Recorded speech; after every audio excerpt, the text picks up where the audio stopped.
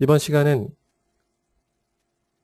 Edit Spline하고 Editable Spline하고 그 다음에 기본적으로 3D Max가 가지고 있는 3D object에 대해서 살펴보겠습니다.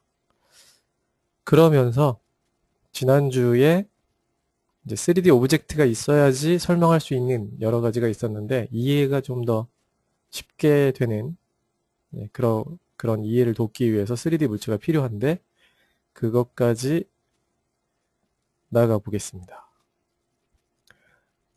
먼저 음, 오른쪽에 보시는 게 command panel인데요.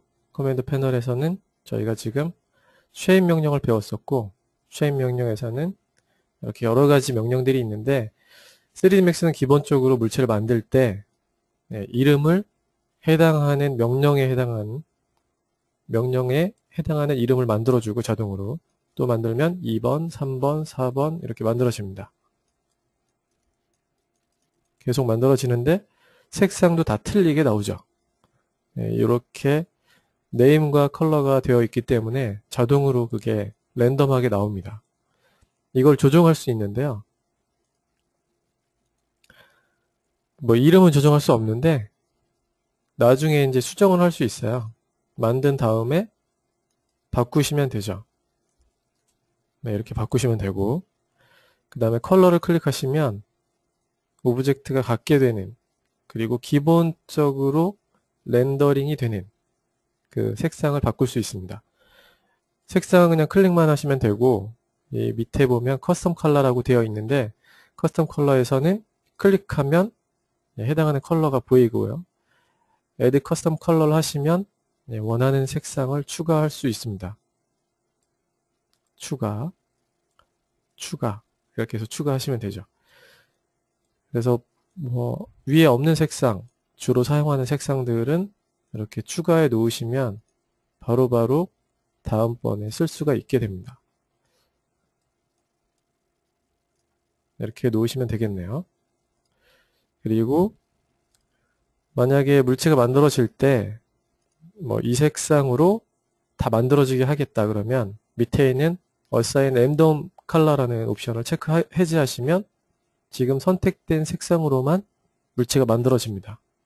오케이 하고 만들게 되면 선택한 색상으로만 만들어지죠.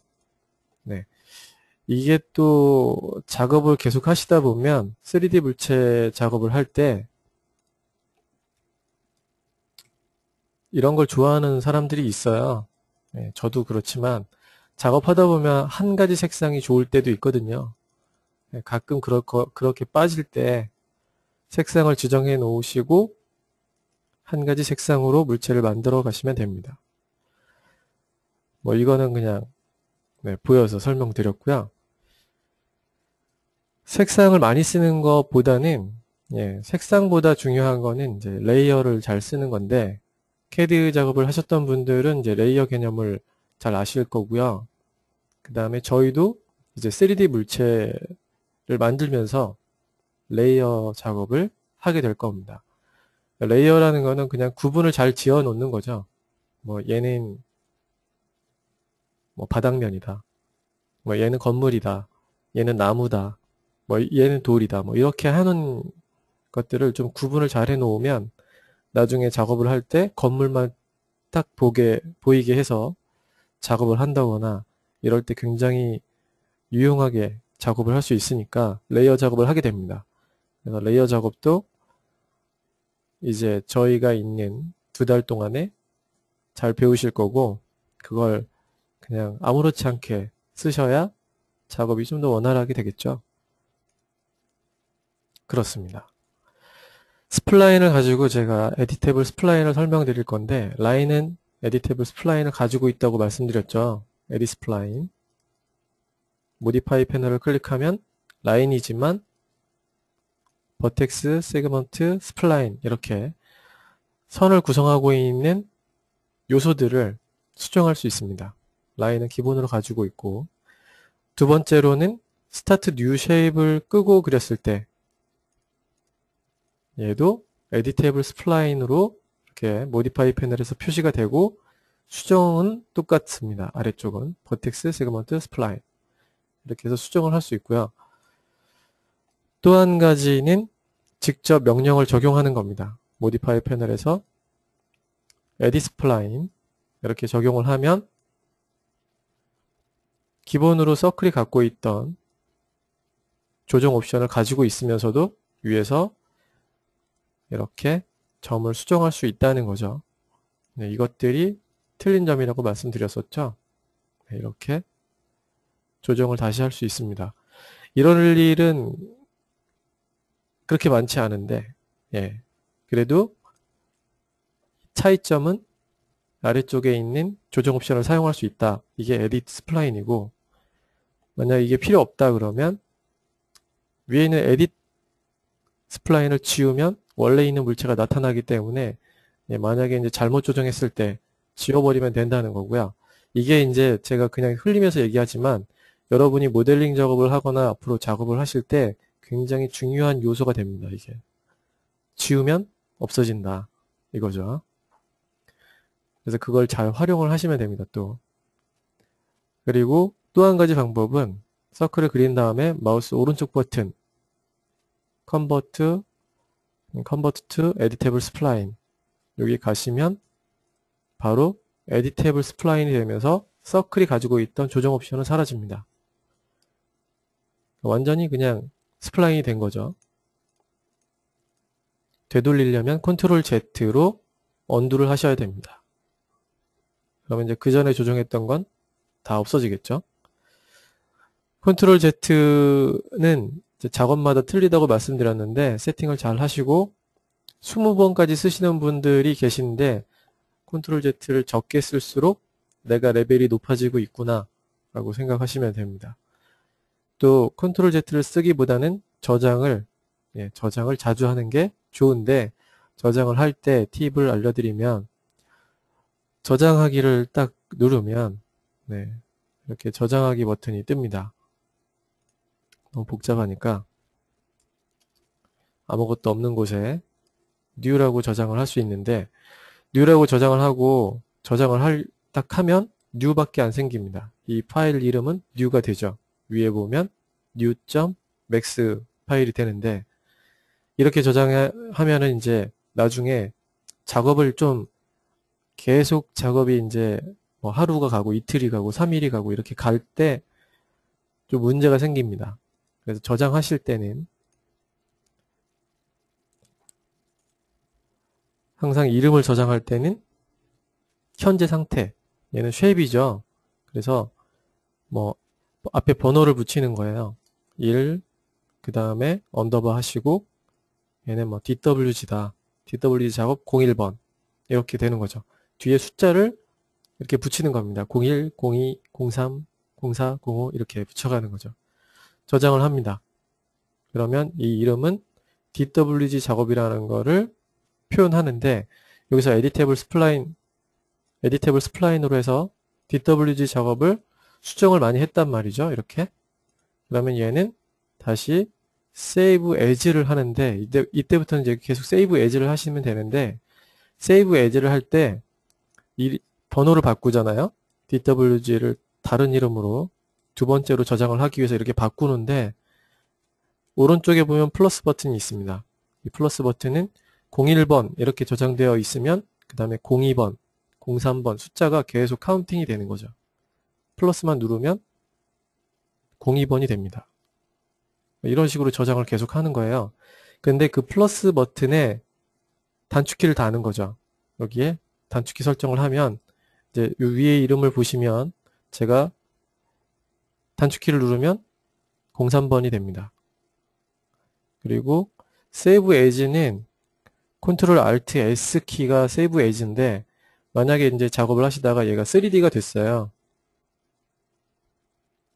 이렇게 3D가 된, 됐는데 그러면 이제 이름을 바꿔야 되잖아요. 앞에 이름을. 그래서 2번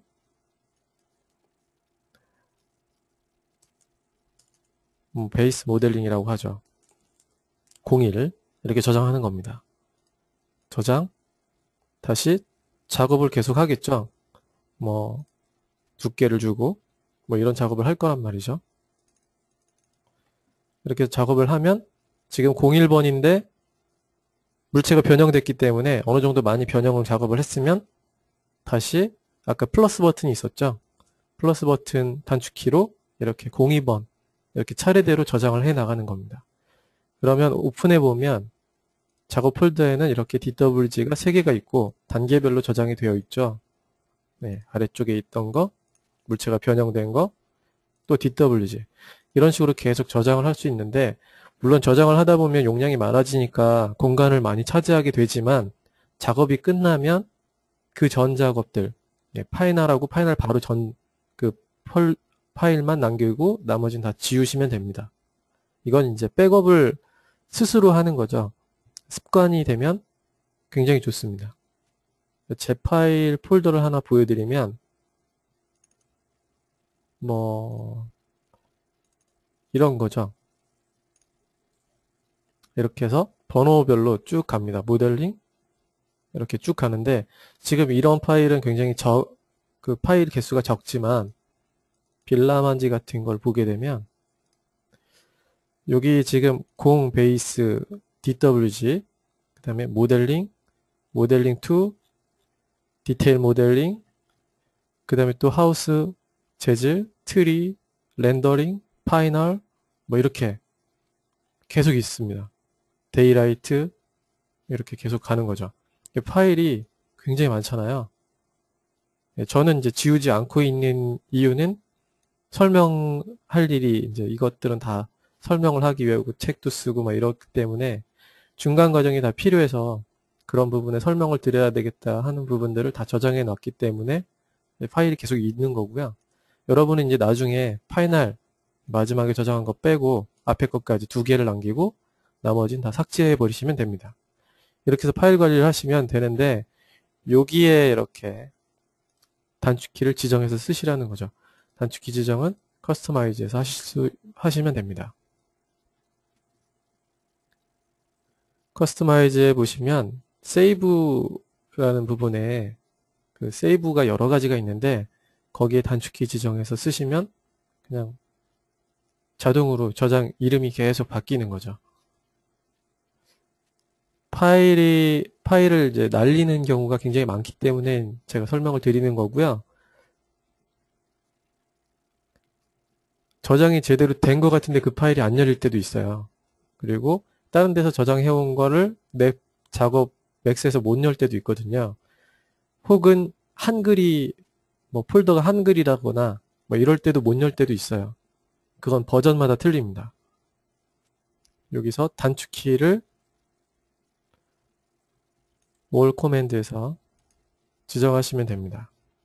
제 거는 이렇게 save로 가시면 플러스가 표시되어 있는 save 이, 이 이름에 단축키를 지정하시면 됩니다.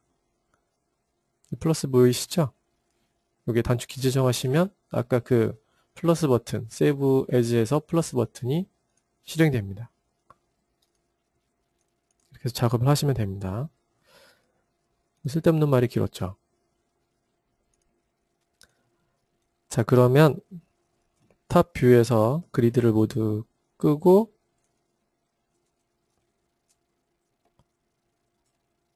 editable spline을 edit spline하고 editable spline하고는 명령어가 똑같으니까 editable spline으로 설명드리겠습니다. 여기에 뭐 start new shape은 그냥 그대로 두고 물체를 몇 개 그리겠습니다. 색상을 표시를 하는 게 좋겠네요.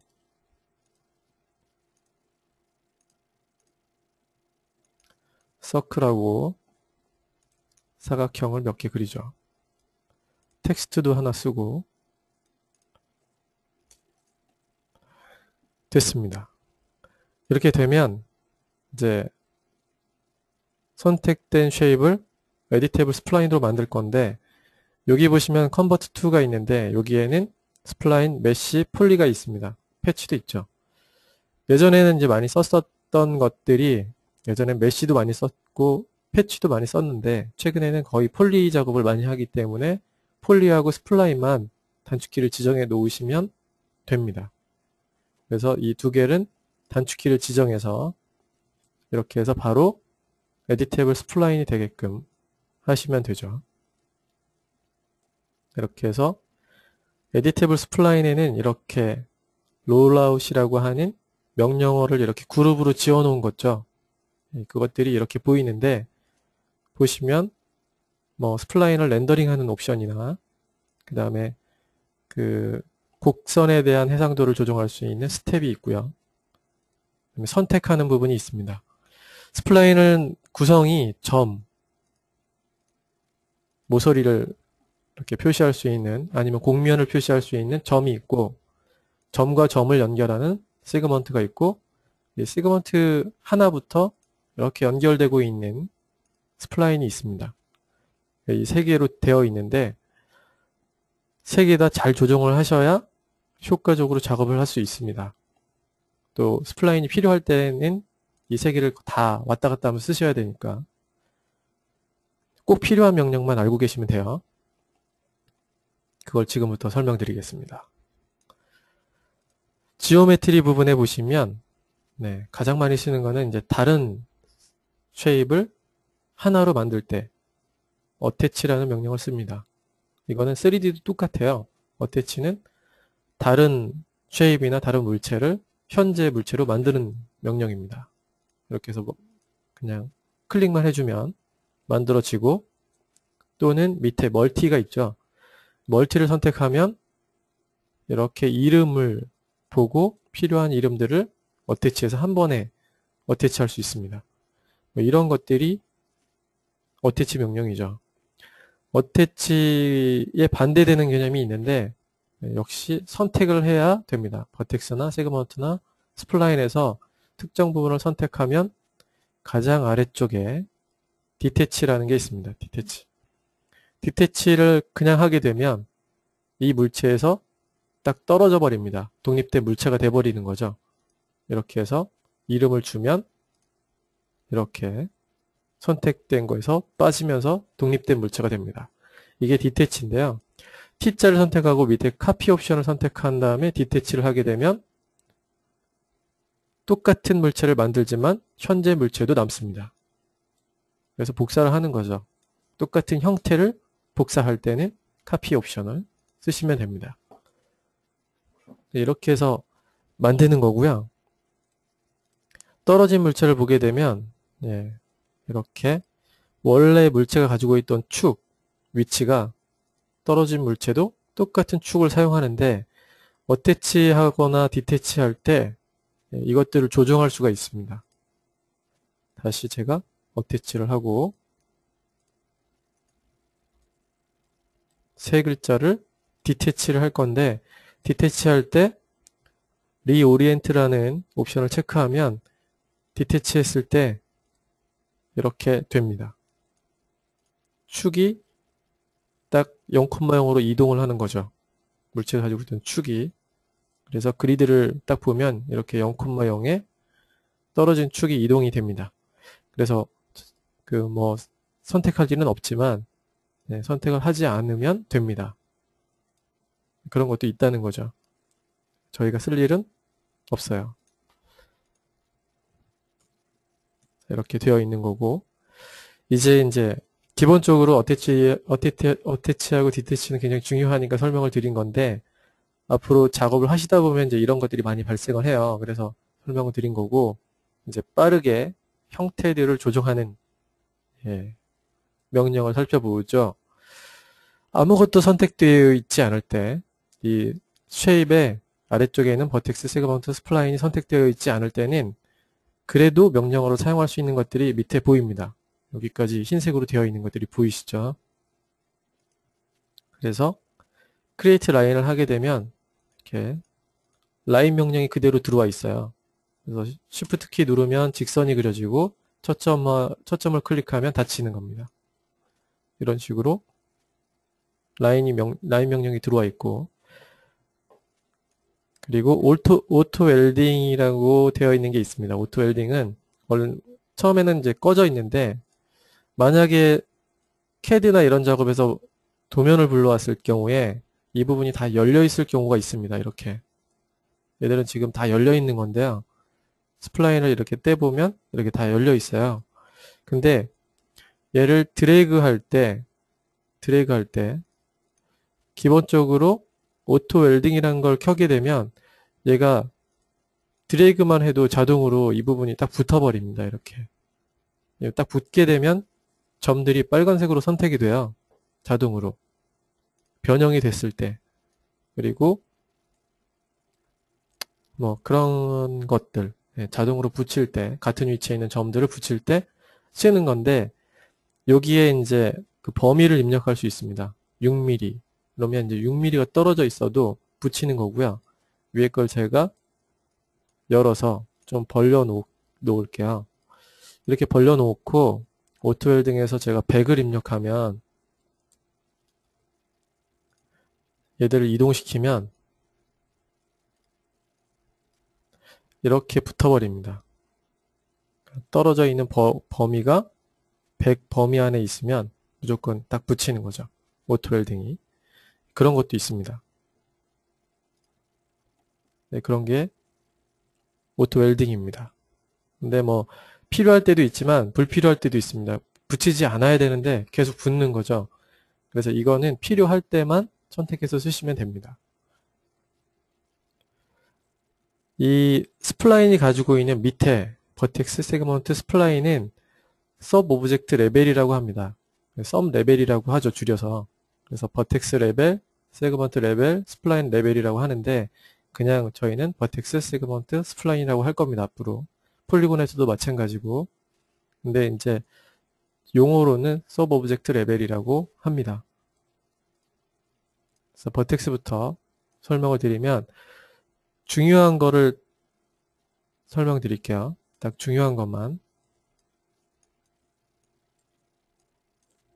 이것만 기억하면 spline은 저랑 똑같이 하시는 겁니다. spline에서 보면 점이 있습니다. 점. 근데 점은 물체마다 특성이 있는데 사각형을 클릭하게 되면 이 vertex가 가지고 있는 속성이 있어요. 속성. 그래서 현재 보면 vertex를 딱 클릭했을 때 이렇게 녹색의 조정점, 예, control point가 이렇게 나오게 되는데 이렇게 나올 경우는 Bezier corner라고 합니다. Bezier corner.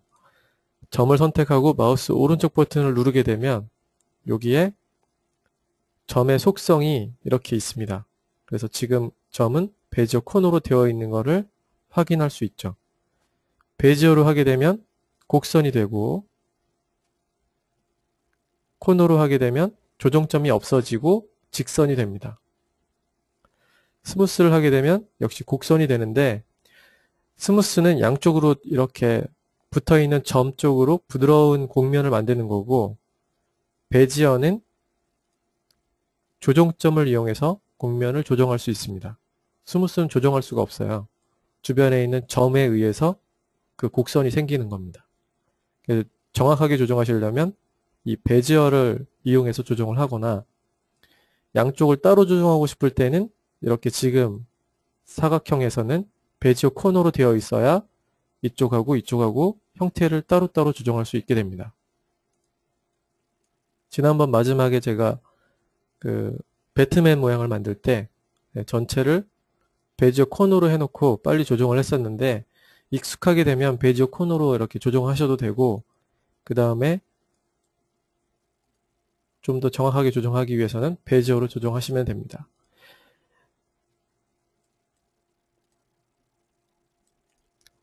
서클을 가지고 제가 설명을 드리면 점을 봤을 때 점이 지금 서클에는 양쪽으로 똑같이 되어 있는데 베지어로 되어 있어요. 이렇게 양쪽에 똑같은 이런 곡면을 갖게끔 하기 위해서 다 베지어라는 속성이 가지고 있는 거죠. 사각형을 만들려면 오른쪽 버튼에서 코너를 하게 되면 사각형이 됩니다. 다시 베지어를 하게 되면 원형이 되지 않죠. 왜냐하면 이미 사각형이 됐기 때문에 이 베지어는 예, 임의로 생깁니다. 이렇게. 근데 이 베지어들을 선택된 점들에 나타난 베지어를 한 번에 조정할 수도 있어요.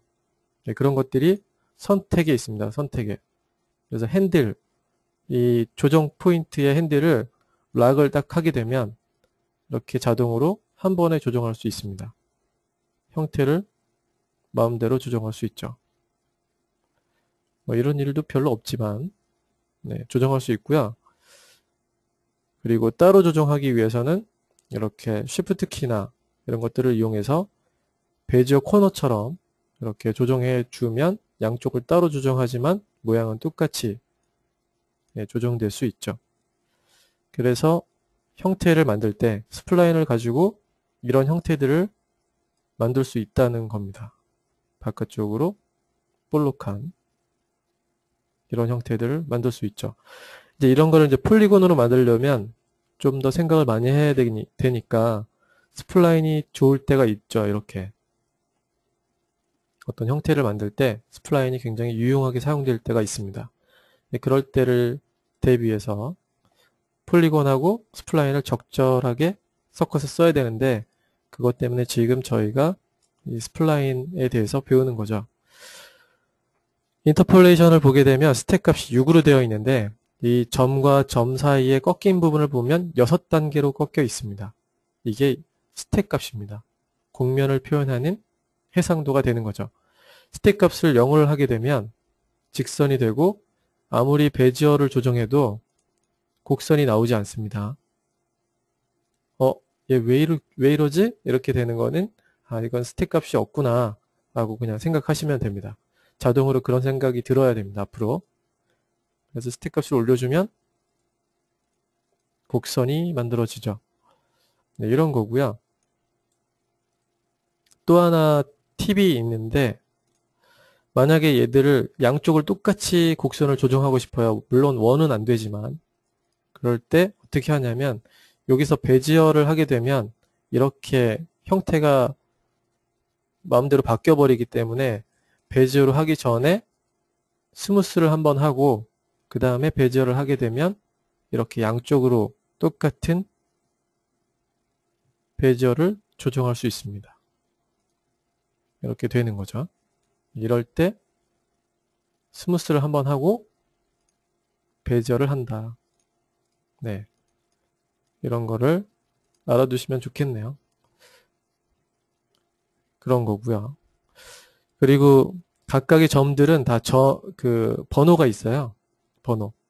그래서 그것들을 보고 싶을 때는 디스플레이 부분에서 번호를 선택해 주면 이렇게 첫 점은 흰색으로 되어 있고 보통 이렇게 시계 반대 방향 쪽으로 점들이 회전됩니다. 그래서 이게 중요합니다. 또 이게 방향이기 때문에 면이 생기는 방향이에요. 이게 그래서 어떤 거는 점의 방향이 반대로 되어 있고 어떤 거는 또 똑바로 되어 있고 뭐 이런 것들은 spline을 가지고 물체를 만들 때 굉장히 문제가 됩니다. 제가 좀 이따 보여드릴 건데 spline으로 할 수 있는 것들은 이렇게 2차원만 만드는 게 아니라 spline을 이용해서 3D를 만들기 위한 작업이기 때문에 점의 방향이 굉장히 중요합니다. 물론 또 개수도 중요하죠. 이렇게 점에 그것 보고 싶으실 때는 선택을 해서 보시면 되고 보통은 이제 흰색이 첫 점이다. 이걸 알고 계시면 되겠네요. 이렇게 되어 있는데 한쪽 부분이 이렇게 되어 있어요. 근데 이렇게 첫 점에 흰색이 보여야 되는데 흰색이 보이지 않고 다 노란색이잖아요. 그럼 어떤 부분이 열려 있는 거죠. 그렇게 판단을 하는 겁니다.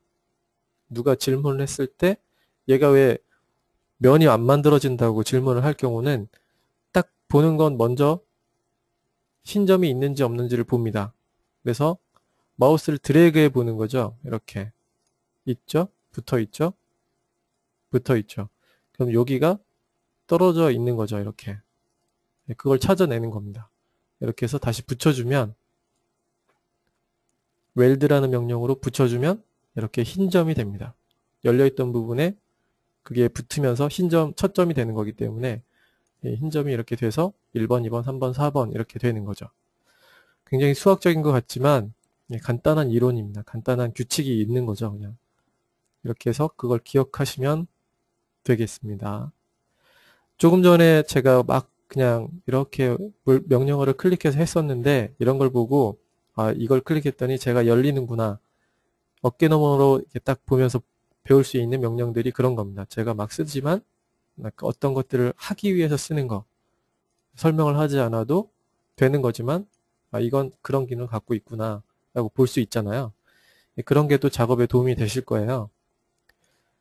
브레이크라는 명령은 선택하고 클릭하면 이 부분이 두 개의 점으로 이렇게 열리게 됩니다. 반대로 이 부분에 선택된 점들 만약 열었다 그러면 같은 위치에 두 개의 점이 있는데 선택하고 두 개의 점을 웰드 시키면 하나의 점이 됩니다.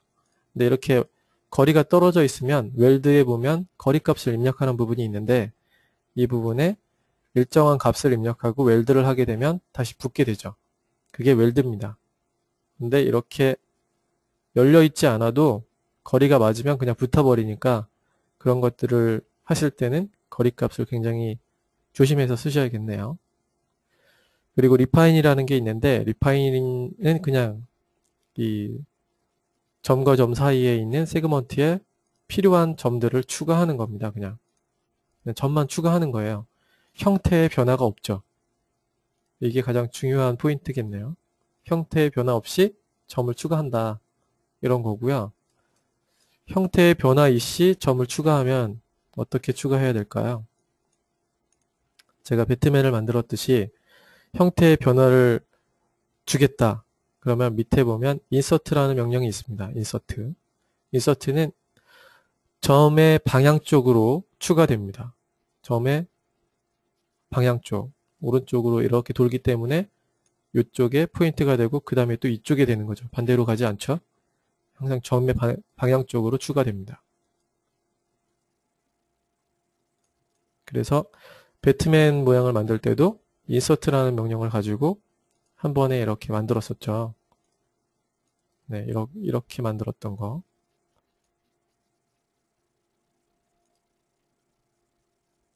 이렇게 해서 배트맨 형태를 만들었었습니다.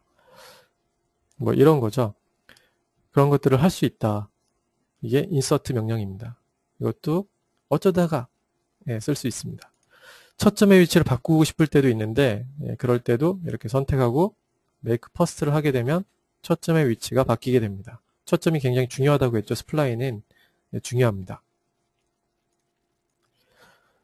점을 만들다 보니까 열려 있을 때도 있는데요. 이럴 때는 connect라는 명령으로 열려 있는 점과 점을 드래그해서 닫아주시면 됩니다. 드래그로 닫아주는 거죠. 얘도 많이 쓰이는 명령입니다.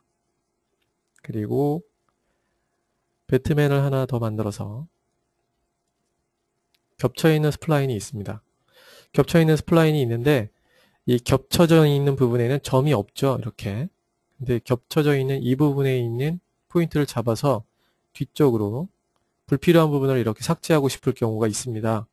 그럴 경우에는 여러 가지 명령이 있지만 cross insert라는 명령을 하게 되면 이 부분에 점을 이렇게 추가할 수 있어요. 교차하는 부분에. 여기에 점이 두 개가 이렇게 추가됩니다. 그래서 바깥쪽에 있는 어, segment를 이렇게 선택해서 지워버리면 되는 거죠. 얘도 지우면 되는 겁니다. 그렇게 할 수 있는 명령인데 이제 이 부분 끝부분은 맞닿아 있는 부분 열려 있겠죠. 그래서 다시 웰드를 시켜줍니다. 웰드 시킬 때는 같은 위치이기 때문에 최소값을 사용해서 웰드 시키시면 됩니다. 이게 이제 어떤 작은 룰입니다. 계속 룰이 있는 겁니다. 모양을 계속 유지하면서 예, 모양이 좀 이상하게 변형되지 않게끔 하기 위한 값을 유지하는 거죠. 계속 그런 거고요. 또 여기 fillet이 있네요. fillet은 둥글게 만들 때 쓰는 건데 spline에서의 강점은 fillet이 있다는 겁니다. fillet이 있다는 게 spline의 강점이죠. 만약에 얘를 쉐를 줬어요. 제가.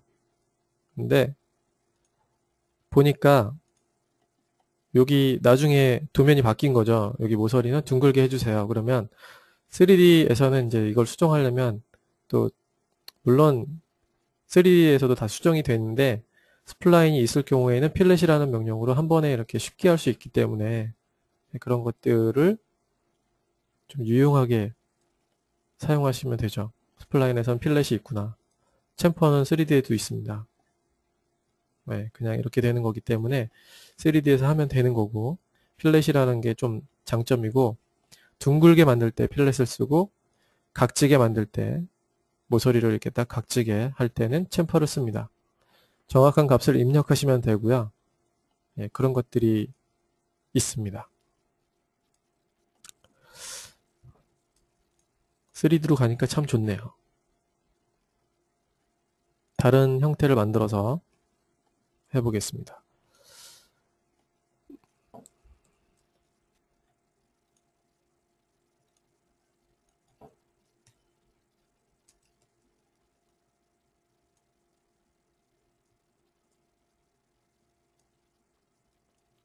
어태치하고 어 버텍스에서 알아둬야 될 게 거의 다 제가 설명을 드렸는데 뭐 밑에 있는 거는 크게 문제 없을 것 같아요. 지울 때는 그냥 선택하고 키보드에 delete 키 누르시면 지워지기 때문에 예, 그 밑에 있는 걸 쓰지 않으셔도 상관없습니다. segment에 가게 되면 나머지 명령들은 다 공통으로 이렇게 뜨는 거예요. 뜨는 건데 여기 보게 되면 connect라는 게 있습니다. connect. 커넥트라는 게 있는데 3D Max는 Shift 키를 누르면 무조건 복사를 할 수 있습니다. 이렇게 복사가 돼요. 기본적으로 복사가 되는데 복사만 되고 말거든요. 세그먼트에서 복사가 되면서 이 끝부분 점이 있는 부분은 선을 이렇게 연결하고 싶어요. 제가 모양을 만들 때 여기까지 왔다가 이렇게 나가서 이 곡선 그대로 곡선이 만들어지고 직선으로 연결하고 싶은 거예요. 제가 지금. 그래서 이거를 뺄 건데 이렇게 쉬프트를 이용해서 그럴 때 커넥트를 사용하면 쉬프트를 누르고 드래그 할 때 점이 연결됩니다. 그래서 불필요한 세그먼트 선택해서 지우면 이 모양이 만들어지는 거죠. 위쪽도 똑같이 해서 모양을 만들고 지웁니다. 이 모양은 제 머릿속에 있는 거죠. 네. 그래서 만들 수 있다. 이거 설명드리고 싶었던 거고 끝부분이 붙는다는 거죠. 하지만 이렇게 움직여 보면 네, 다 떨어져 있습니다. 그래서 항상 저희는 이런 것들을 했을 때는 웰드를 시켜줘야 된다. 그러면 이제 떨어지지 않겠죠. 붙어 있기 때문에 네, 이런 것들 세그먼트에서는 이제 커넥트라는 게 굉장히 유용한 네, 기능을 합니다. 필요할 때가 있으실 거예요. 그리고 또 하나는 곡선 네, 곡선의 해상도를 제가 조정했었는데 만약에 스텝이 하나예요. 하나. 왜냐하면 직선 부분에도 이제 스텝 값을 계산하지 않게끔 좀 최적화를 시키기 위해서 곡선도의 형태가 되게 많, 많을 텐데 어떤 거는 굉장히 급하고 어떤 건 굉장히 이렇게 할 텐데 그런 것들을 조정하기 위해서 세그먼트에서 할 수 있는 게 있습니다. S자를 하나 그려볼게요. S자가 제대로 보여줄 것 같아요.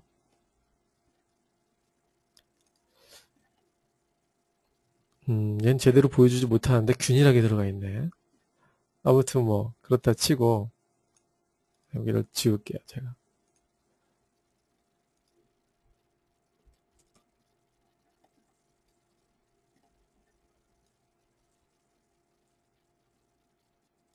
네, 이렇게 될 경우가 있습니다.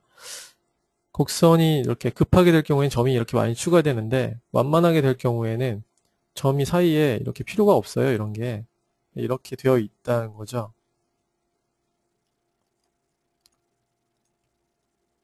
예, 이렇게 Bezier 컨트롤 포인트를 이용해서 형태를 이렇게 조정해 놓을 경우가 있습니다.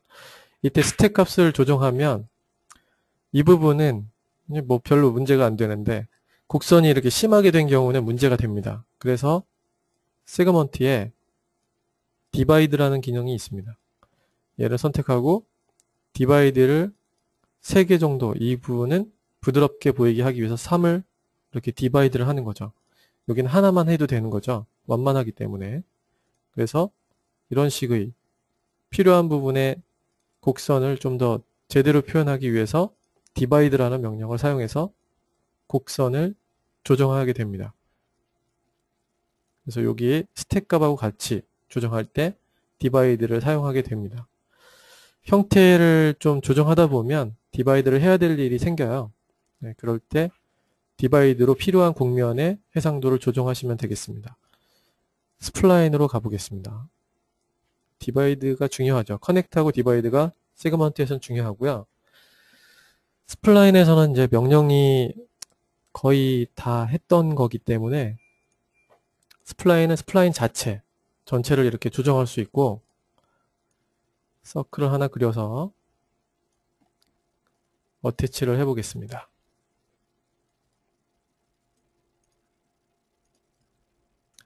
스텝 값 때문에 네. 스플라, spline에서 아웃라인이라는 게 있습니다. 아웃라인. 아웃라인은 형태에 맞는 선을 하나 더 만드는 겁니다. 안쪽이나 바깥쪽으로. 얘도 안쪽이나 바깥쪽으로. 혹은 센터 버튼을 누르게 되면 양쪽으로 같이 만들어집니다. 양쪽으로.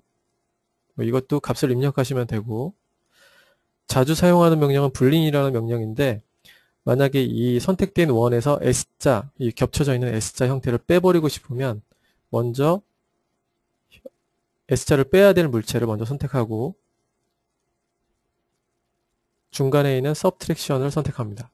그 다음에 분리 명령 S자 빼야 될 물체 이렇게 하면 S자가 빠져버립니다. 순서는 그렇습니다.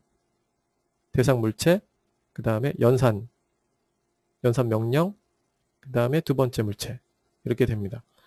합치고 싶을 때는 얘하고 유니온 불린, 합치면 여기가 합쳐집니다. 불린에서 보면 여기가 이제 합치는 거고 subtraction은 첫 번째 물체에서 빼는 거고 두 번째 물체를 intersection은 첫 번째하고 두 번째 물체가 겹쳐 있는 이 부분만 남기는 겁니다. 이렇게 남게 되죠. 지금은 굉장히 잘 되는데 음, 얘가 잘 안 될 때가 있어요. 불린이 얘는 고쳐지지 않더라고요. 어떤 경우냐면 이제 형태에 따라 틀린데 만약 이렇게 사각형이 있는데 사각형은 기본적으로 베지어 코너를 갖고 있어요. 베지어 코너가 여기 겹쳐 있어요. 컨트롤 포인트가 양쪽을 이렇게 넘어가 있죠. 얘는 여기까지 넘어가 있고 그럴 경우에 spline에서 S자를 빼고 싶은데 잘 될 수도 있습니다. 예. 예, 안 되게 하기가 쉽지가 않아요. 이렇게 되기도 해요. 아무튼 뭐, 안 될 경우에, 예, 안될 경우가 생기는데, 그럴 경우에는 사각형은 무조건 코너로 만듭니다. 코너. 그러면 잘 됩니다. 근데, 거기, 거기서 또 다시 서브트랙션을 했는데, 예, 또 안 됐다. 그러면 사각형이나 다른 물체, 모, 그러니까 모양을 조정해도 괜찮은 물체를 살짝 크기를 조정하면 잘 됩니다. 또 한 가지 방법은 물체를 아주 살짝 이동시키면 축이 이동되기 때문에 잘 됩니다. 이게 이제 분리는 그렇게만 하면 다 됩니다. spline에서 분리는 그 방법을 알고 계시면 되겠네요. 이렇게 해서 할 수 있다는 거고요. 그리고 trim 네, 이런 게 있네요. 배트맨 할 때 저희가 mirror를 보여드렸는데 네, 좌우로 뒤집거나 위아래로 뒤집거나 뭐 이런 거고 카피했을 때는 뒤집으면서 카피하는 거고 이렇게 네 카피하는 거고 그런 거기 때문에 뭐 따로 설명은 드리지 않겠습니다. 거울에 반사된 것처럼 원하는 축을 선택하고 반사시키시면 되고 복사하면서 반사하면 됩니다. 트림 명령은 이렇게 서로 물체가 이렇게 겹쳐서 지나갈 때 트림을 할 수 있는데 경계선을 기준으로 트림을 합니다. 만약에 제가 이 사각형의 바깥쪽을 클릭하면 이렇게 선이 가다가 부딪히는 부분 이쪽으로 선이 가다 부딪히는 부분 이렇게 부딪히는 부분이 있기 때문에 바깥쪽은 사라집니다. 이게 트림이죠. 근데 트림이 잘 안 될 때도 있습니다. 지금처럼. 만약에 원을 클릭하면 네, 이렇게 한 번에 되는 게 맞습니다. 그 trim을 할 때는 이제 그런 식. 안 될 때는 계속 클릭해야 되죠. 이게 trim이고, extend라는 거는 라인이 하나 이렇게 있으면요. segment를 하나 복사해서 옆에다 이렇게 놓으면 이 선은 여기까지 연장이 되지 않는데 연장을 시키는 명령입니다. extend는 클릭하면 연장됩니다. 여기도 예, 떨어져 있기 때문에 클릭하면 그 앞에 보이는 선까지 연장됩니다. 그런 겁니다. 열려 있는 것들은 다 연장이 됩니다. 닫혀 있는 거는 이제 연장이 되지 않죠. 그게 extend고 extend하고 trim에는 두 가지가 있는데 좀 밑에 있는 옵션은 별로 쓸 일은 많이 없지만 설명을 드리면 이런 특징이 있습니다.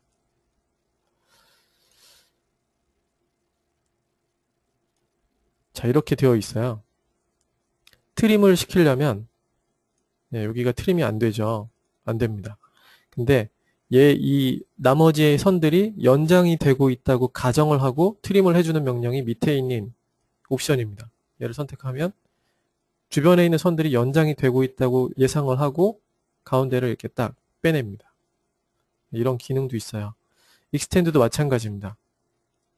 만약에 여기 곡선하고 이 직선하고 이렇게 계속 연장돼서 만나는 부분이 여기 있을 건데 그게 이 선이 쭉 가고 있다고 생각하고 연장을 해줍니다. 이렇게 해서 계속 연장이 되게 그런 명령이 밑에 있는 옵션입니다. 재미삼아 알고 계시면 되, 는 부분입니다. 이건. 나머지는 뭐 다 비슷하고요. spline 같은 경우는 이제 close라는 명령으로 이렇게 닫힌 spline을 만들 수 있습니다. 학원에서 배울 때는 이제 닫힌 게 굉장히 중요하다. spline은 열려 있으면 안 돼. 뭐 이렇게 얘기하는데 spline은 열려 있어도 됩니다. 네, 닫으면 되니까. 그리고 아까 제가 이제 spline을 가지고 할 수 있는 여러 가지를 할 수 있다고 말씀드렸는데 spline을 가지고 뭐 곡면을 만든다. 이럴 때 첫 점부터 만약에 점의 방향이 굉장히 중요합니다. 이렇게 라인의 initial type을 smooth로 해놓고 하나는 이렇게 그리고요. 얘는 이제 top에서 앞쪽을 위쪽으로 좀 올려놓을게요. 또 라인을 그릴 때 하나는 반대쪽에서 한번 그려보겠습니다. 이렇게 이렇게 그리고 또 하나는 다시 이쪽에서 그려, 그려가죠. 이렇게 그릴게요. 얘는 이제 아래쪽으로 빼겠습니다. spline이 3개가 이렇게 있는데 얘를 가지고 3D를 만들 거예요. 어떻게 만들 거냐면 얘들을 일단 한 물체로 만들 거죠. 라인이기 때문에 editable spline을 그대로 가지고 있습니다. attach 명령으로 얘들 셋을 하나로 만들고 여기 보면 cross section이라는 게 있습니다. cross section이라는 명령은 edit spline에도 들어있지만 editable spline 아니면 또 cross section이라는 명령이 따로 있어요. 똑같은 명령입니다. 그래서 여기서 하시면 되는데 항상 첫 점의 위치 네, 여기 있고 여기 있고 여기 있는데 cross section을 하게 되면 이 점들 첫 점은 첫 점끼리 두 번째 점은 두 번째 점끼리 연결을 하게 되는 거예요. 그래서 이렇게 클릭해서 클릭하고 클릭하면 꼬입니다. 이렇게 꼬이게 됩니다. 그래서 spline에 보게 되면 아까 제가 버텍스에서 선택하고 첫 점을 이동할 수 있다고 했죠. make first 이렇게 이동하면 됩니다. 다시 이동해 놓으면 반대로 또 됐죠. spline에도 있습니다. spline에서 선택하고 reverse를 하게 되면 예, 반대로 이렇게 방향이 뒤집힙니다. 첫 점이 이쪽으로 오죠. 이게 제대로 되어 있으면 이제 cross section을 했을 때 이렇게 라인이 이렇게 연결됩니다. 어떤 cross section이라는 건 어떤 거냐면 점과 점을 연결해서 보시면 이제 이렇게 네 개의 점이 연결되면서 곡면도 가지고 있고 직선도 가지고 있습니다. cross section으로 연결한 부분은 다 이렇게 직선인데 edit spline에서는 이 점의 속성을 조정할 수 있기 때문에 이렇게 되어 있는 겁니다. 제가 smooth로 만들고 bezier를 하면 양쪽으로 이렇게 부드러운 곡면을 조정할 수 있다고 했었죠. 네, 이렇게 해놓으면 마치 3D 같지만 지금은 렌더링이 되지 않고 라인만 있는 상태입니다. 이 상태를 가지고 여기에 면을 갖게끔 하기 위해서 surface라는 명령을 사용합니다. 이 surface라는 명령을 사용하면 이렇게 곡면을 갖는 3D 물체를 만들 수 있고 밑으로 내려가서 여기 보면 모디파이 패널에 보면 앞, 앞쪽 옆에 빨대가 있어요. 이 빨대를 클릭해 주시면 최종 결과 맨 위에 있는 명령어에 의해서 생기는 최종 결과 값을 볼 수 있어요. 이렇게 보면서 수정을 할 수 있는 거죠. 가운데 있는 점을 이동시키겠다. 이제 이렇게 이동할 수 있는 겁니다. spline이 좋은 거는 이제 이런 것들이 굉장히 잘 되어 있죠. 조정하기가 편하니까. 이렇게 해서 원하는 형태를 쉽게 만들고 surface에서 조정을 할 수 있는데 여기서도 마찬가지로 스택 값이 있습니다. 이 곡면의 스택 값인데 스택 값이 없으면 polygon으로 만든 것 같이 딱 끊어진 상태가 만들어지고 하나를 주게 되면 여기가 딱 한 번 꺾이는 거죠. polygon들이. 이렇게 됩니다. 한 번 꺾인 상태에서 이걸 editable poly로 converting을 하게 되면 3D 물체가 되겠죠, 이제. 그럼 이제 라인은 없어집니다. 대신에 한 번 꺾인 부분에는 이렇게 엣지가 추가가 되는 거죠. 예, 이런 겁니다. step이라는 건. 그래서 이렇게도 할 수 있고요. 만약에 라인에서 cross section을 하지 않았다. 이렇게 여기 spline을 제가 지울게요. 라인에서 cross section을 하지 않았다 그러면 여기서도 명령어에 cross section이 있습니다. 여기 cross section이 있는데 명령어를 주게 되면 자동으로 연결을 하고 대신에 여기는 smooth로 할 건지 bezier로 할 건지 bezier corner로 할 건지를 결정할 수 있게끔 옵션이 있죠. 이 상태에다가 다시 surface를 적용해주면 됩니다. 스택 값을 올려주면 부드럽게 나오겠죠. 이런 겁니다. 심플하죠? 그래서 spline으로 이제 3D를 만들 때 이렇게 cross section이라는 걸 사용할 수 있는데 이 cross section이라는 게 나중에 이제 사용하시다 보면 생각을 못 하시겠지만 굉장히 쓸 일이 많습니다. 간단하게 보면 원을 제가 하나 만들었고요. 여기에 다각형을 하나 만들 겁니다. ngon n건은 4개짜리로 자 그리고 원을 다시 하나 복사하죠. 3개를 합칠 건데 중앙이 안 맞네요. 탑에서 보면 중앙이 흐트러져 있는데 이럴 때 물체들의 중앙을 이렇게 맞추기 위해서 다각형을 위에 보면 얼라인이라는 명령이 있습니다. Alt A키를 누르면 얼라인을 실행할 수 있는데 이 온라인을 사용하면 여러분의 작업이 0.1%는 빨라질 겁니다. 이렇게 해서 현재 물체를 이 서클 원의 XY축 중앙을 맞추는 겁니다. 센터 XY축으로 지금 top에서 보고 있기 때문에 이렇게 해서 쉽게 맞출 수 있는 명령이 align입니다. 오케이 하면 중앙이 딱 맞았죠. 온라인에 대해서는 지금 이 정도만 아시면 됩니다. 나중에 계속 설명을 드릴 거기 때문에 설명을 드리다 보면 자연스럽게 이해가 되실 겁니다. 공부를 따로 하실 필요가 전혀 없습니다. 밑에 있는 걸 잡고 Editable Spline으로 converting 한 다음에 attach를 하죠. 그리고 cross section을 합니다. 지금 보면은 그냥 일자로 올라온 것 같지만 그 다음에 서페이스를 적용하죠. 근데 이렇게 됩니다.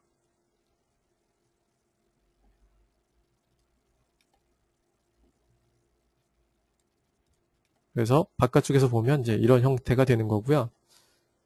플립을 하게 되면 이제 면이 이렇게 뒤집히면서 형태가 만들어집니다. 그래서 사각형, 중간은 사각형이고 아래쪽은 둥근 네, 그런 것들을 만들 수 있게끔 해주는 명령입니다. 네, 심플하게 봤을 때는 그런 거고요. 어, 이 Spline을 조정하는 것들이 어떻게든 조정이 되기 때문에 뭐 만들 수 있는 건 굉장히 많아요. 사람부터 해서 많이 만듭니다. 이렇게도 할 수 있다. 초점이 중요하다. 이런 거고요. 초점의 위치를 제가 알고 만든 겁니다. Circle하고 NGon하고는 초점의 위치가 똑같아요. 그래서 제가 Editable Spline, Edit Spline에 대해서 설명을 드렸고요. 각 잠깐 Align에 대해서도 설명을 드렸네요. 이제 3D Object를 어떤 물체가 있는지 한번 알아보고 박스는 네, 그냥 박스죠. 네. 많이 쓰입니다. 물체를 만들 때 그리고 어떤 분은 박스가 거의 굉장히 중요하게 사용되실 거예요. 어떤 분은 그냥 빈도는 별로 없을 수도 있죠. 하여튼 박스 많이 쓰는 것 중에 하나고 뭐, 그 다음에 실린더가 있습니다. 실린더. 예, 원기둥. 예, 이런 거죠. 그, 뭐, 이런 것들은 그냥 조정해 보시면 되는 거라서 따로 말씀드리지 않을 거고, 직선상의 라인이 필요 없을 경우에는 무조건 없앤다. 이게 이제 저희가 앞으로 지켜야 될 겁니다. 저하고 여러분. 네. 이게 가장 중요합니다. 앞으로 3D 작업할 때 불필요한 면은 없애고 필요한 부분에는 면을 잘 준다, 많이 준다 이런 거죠. 그 다음에 또 많이 사용하는 거는 테스트를 하기 위해서는 주전자도 사용하는데 여러분은 사용할 일이 별로 없을 것 같고요. 그 다음에 Plane Plane 개인적으로는 Plane을 더 많이 사용하는데 Spline하고 예, Plane 그 다음에 박스 어, 어쩌다가 실린더 이렇게 됩니다. 그래서 이 세 개가 가장 3D에선 중요하다고 할 수 있겠네요. 네, 이렇게 됩니다. 잘 알아두시면 됩니다. Plane을 잘 사용하면 Spline처럼 사용할 수 있어요. 그래서 이제 Spline을 가지고 작업하듯이 Plane을 가지고 잘 작업하시면 또 빨리 할 수 있고 물론 박스도 마찬가지입니다. 네, 그런 것들 그리고 앞으로 어, 모디파이 명령 오늘 몇 개 배웠잖아요. 예, 그렇듯이 모디파이 명령 가지고 또 하나둘씩 계속 배워가면 작업에 이렇게 쓰면 좋겠다. 제가 이렇게 이제 계속 응용을 해서 설명을 드릴 거예요. 지금 처음이기 때문에 응용을 계속 해서 말씀을 드리다 보면 더 이렇게 복잡해질 수도 있고 정리가 잘 안 되실 것 같아서 지금은 이제 매뉴얼적인 거를 설명드린 거고요. 시간이 지나면서 예, 예제를 조그마한 예제들을 끼워 넣고 이렇게 하다 보면 자연스럽게 뭐 친해지실 겁니다. 다 명령어가 편하게 그러기 위해서는 여러분이 배우신 거는 이제 직접 한번 필요할 때마다 약간 문제가 될 수도 있는데 그래도 사용해 보시는 게 자신의 것으로 만들 수 있습니다. 그게 가장 좋은 방식이니까 자주 사용해 보는 것만큼 좋은 건 없습니다. 그래서 오늘은 이제 여기까지 설명을 드릴 거고요. 3D Editable Poly하고 예, Graphite Modeling Tool은 분량이 좀 되기 때문에 다음 주하고 그 다음 주하고 두 번에 걸쳐서 어떤 간단한 모델링들을 예, 약간 연결시켜서 설명을 드리겠습니다. 질문이 있으시면 하시죠.